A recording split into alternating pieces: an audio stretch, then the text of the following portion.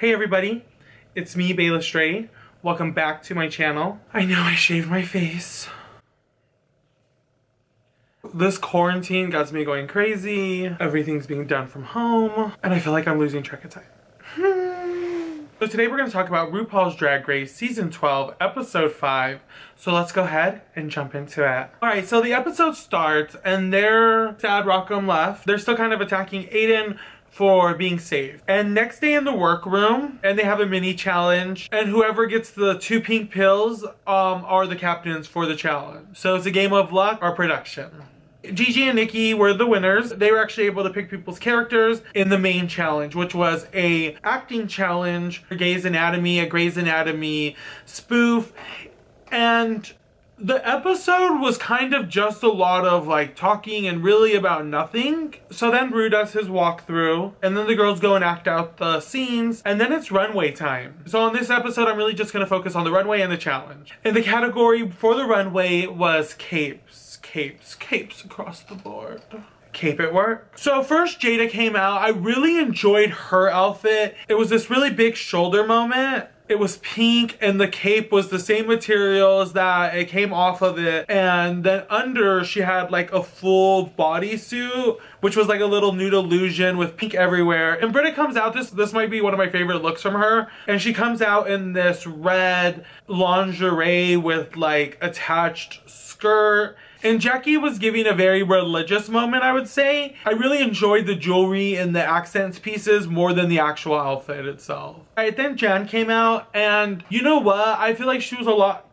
capable or a little bit more. And I would really like to see something more exciting from her than what she presented on the runway. And she was doing it very playfully, but she did not cape it work. I really like Gigi's look. I feel like it could have used a little bit more color. I know the hair was like the color statement piece, but it wasn't even bright enough, you know, to be really the statement piece. But overall, it was nicely constructed. And then Heidi came out and I was like, yikes, that's really basic.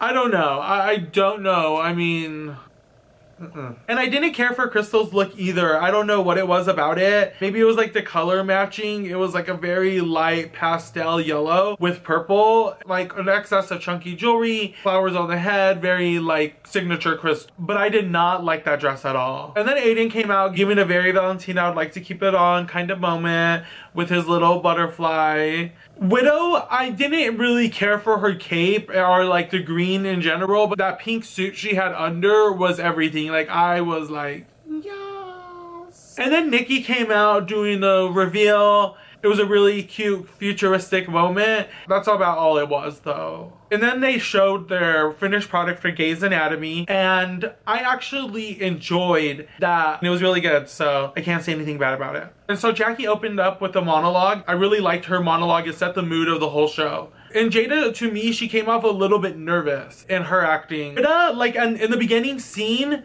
it sounded like she was just doing a voice and she wasn't actually just talking naturally. It really came off like she was playing a character. And Gigi was, of course, Gigi Goode.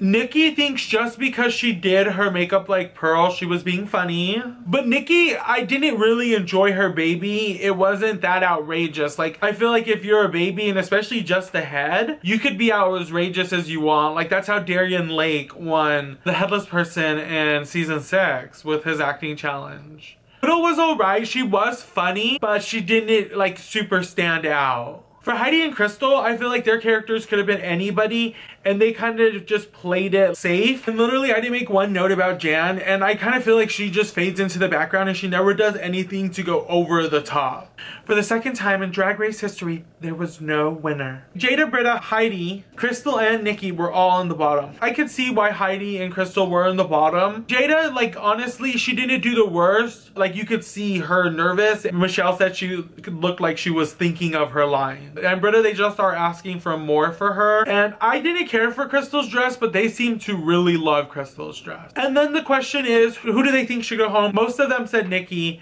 And Nicky even said herself, and I feel like if you're gonna say yourself, like you're sending yourself home. Like, why would you even do that? The bottom two end up being Nicky and Heidi. Um, the lip sync was for a Kim Petra song. You know it was gonna be iconic.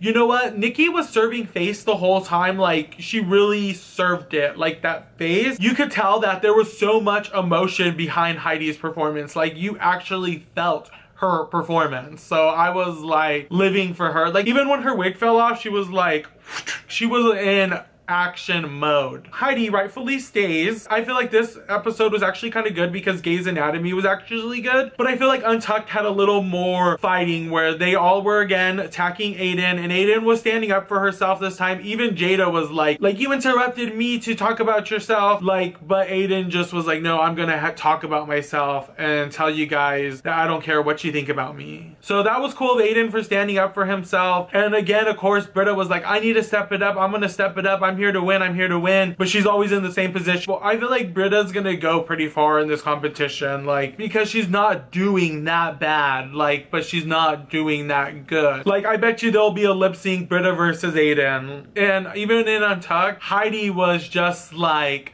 popping off too. She's like, you know, fuck you, fuck you, fuck you, fuck you, fuck you, fuck you, fuck you, fuck you, fuck you, fuck you, fuck you, and fuck your mom. So Untucked was actually good this time around. Like, cause I feel like Untucked's been very boring. All right, so that's it for my recap. Thank you so much for watching. Don't forget to like, comment, subscribe, all that other YouTube stuff. So, bye babe.